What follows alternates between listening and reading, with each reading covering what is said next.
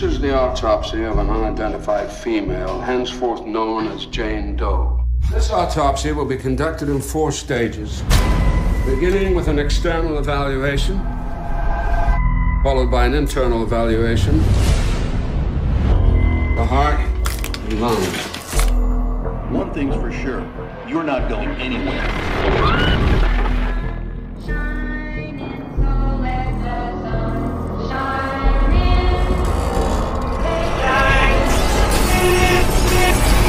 Hey, Dad.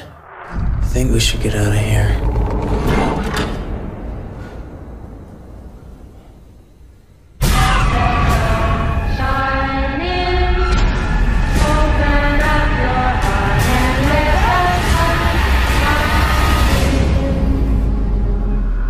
Everybody has a secret.